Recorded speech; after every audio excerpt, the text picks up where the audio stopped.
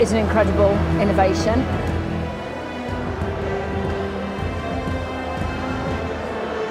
It's got the potential to be absolutely life changing for so many people. A really beautiful looking product can literally turn in its own space.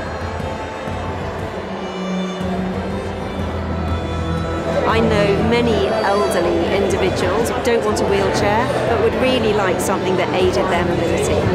And I think this is the answer.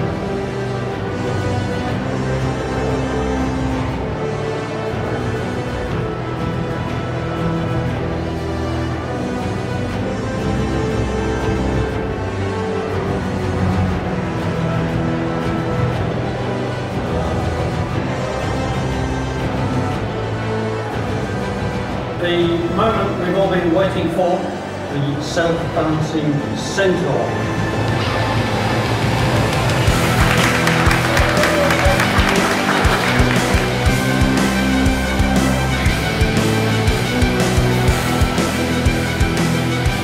I thought it was fabulous. It was a perfect extension of the way that people's bodies work, the way that they mobilise themselves, and I think that it's uh, it was beautiful. That's absolutely phenomenal.